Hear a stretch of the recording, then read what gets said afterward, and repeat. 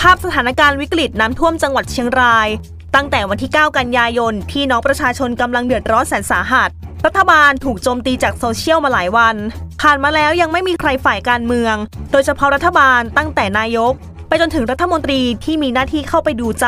หรือให้การช่วยเหลือแก้ปัญหาหน้างานให้พี่น้องประชาชน ปัญหาที่เกิดขึ้นเกินกว่าระดับจังหวัดจะจัดการได้เพียงลำพัง แม้จะมีการเข้าไปช่วยเหลือจากบรรดาทีมกู้ภัยจากทุกสารทิศ ตัวเรื่องดังกล่าวกลายเป็นปมดราม่าที่ไม่แต่วงประชุมของสภาสูงที่มีมติตีตกยติ การตั้งกรรมธิการศึกษาปัญหาน้ำท่วม ที่ปรากฏมีสวท่านหนึ่งแกล้งร้องไห้ล้อเลียนสวอีกท่านหนึ่ง ซึ่งสนับสนุนยติ หากแต่ยังมีดราม่ามายังรัฐบาลอุงอิง ที่อยู่ในจังหวะสเต็ปสุดท้าย การเข้าสู่อำนาจเต็ม ในการบริหารประเทศกับการถแถลงนโยบายต่อรัฐสภาในวันนี้ ที่กลายเป็นอาการเกรง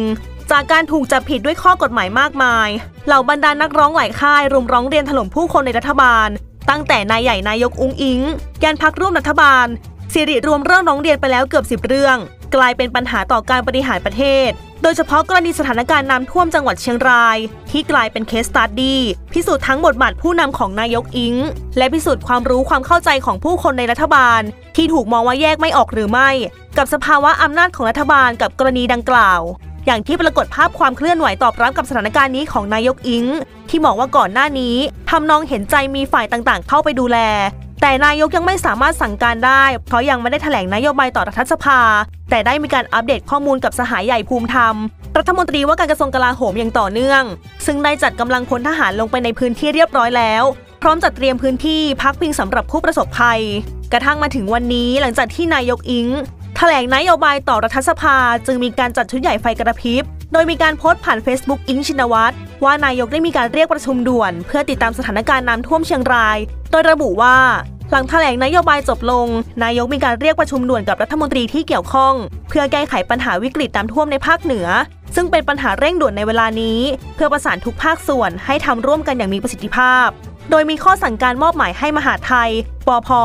จัดการที่พักพิงชั่วคราว สาธารณูปโภคขั้นพื้นฐาน อาหาร น้ำ ยารักษาโรคและเสื้อผ้า ให้แก่ผู้ประสบภัย ให้กลาโหมระดมเครื่องบิน เรือท้องแบน เจ็ตสกี เฮลิคอปเตอร์ เพื่อเร่งช่วยเหลือผู้ประสบภัยน้ำท่วม ให้กระทรวงเกษตรและกระทรวงทรัพยากร หาแนวทางซ่อมแซมเขื่อนและประตูกั้นน้ำ เพื่อชะลอน้ำลดความรุนแรงของน้ำ ให้คมนาคมและกลาโหม เร่งเข้าไปซ่อมแซมถนนและสะพานที่ขาด เพื่อให้พี่น้องประชาชนมีการเดินทางที่สะดวกขึ้น โดยเฉพาะในเวลานี้ที่ต้องมีการเร่งอพยพผู้คนในเวลาอันรวดเร็ว ดยให้ทุกฝ่ายเตรียมข้อมูล เพื่อให้เกิดการทำงานอย่างประสานกันอย่างเป็นระบบ เพื่อช่วยเหลือพี่น้องประชาชนให้รวดเร็วที่สุดเท่าที่จะเป็นไปได้ และมีการประชุมข้าราชการ ในระดับที่ปฏิบัติที่รัฐสภาเพื่อสั่งการและติดตาม ผลการช่วยเหลือพี่น้องประชาชนจากทีมงานของนายกรัฐมนตรี ที่ action ดังกล่าว เกิดขึ้นหลังจากที่หลายฝ่ายวิจารณ์การทำงานของรัฐบาลกับสถานการณ์นี้ ไม่แต่ฝ่ายค้านอย่างพรรคเด็กประชาชน อย่างไอซ์ รักชนกที่ออกมาเสียดเย้ยนำ IG ของนายกอิ๊งค์ วันที่ 9 กันยายนที่เกิดน้ำท่วมมาโจมตีทำนองในวันดังกล่าวยังมีการโพสต์สวัสดีวันจันทร์ โดยไอซ์โพสต์แซะแรงถามชาวบ้านรู้สึกอย่างไร รัฐบาลยังไม่ไปช่วยเหลือ เชียงรายน้ำท่วมมิดหัว นายกเล่นโซเชียลมีความสุข ใช้ชีวิตปกติสุขดี พร้อมแซะแรงชีวิตคงไม่เคยเจอความลำบาก จึงไม่เข้าใจความรู้สึกคนที่เดือดร้อน ต่อมามีการโต้แทนนายกอิง ว่ายังไม่มีอำนาจเต็มต้องรอแถลงนโยบายก่อน ไอซ์จึงนำเอาความเห็นทางกฎหมายของอาจารย์ปิยบุตรมาโต้ว่า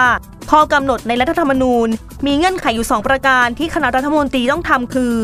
การถวายสัตย์ปฏิญาณและการถแถลงนโยบายภายใน 15 วันหลังเข้ารับหน้าที่ โดยให้ข้อมูลเสริมว่า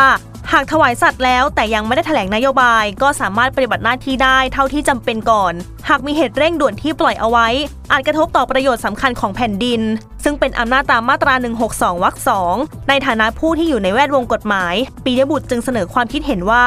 กรณีภัยพิบัติน้ำท่วมเชียงราย ถือเป็นเหตุที่ปล่อยให้ช้าไม่ได้ คณะรัฐมนตรีสามารถใช้อำนาจในการบริหารจัดการได้เลย โดยไม่จำเป็นต้องรอให้การแถลงนโยบายเสร็จสิ้น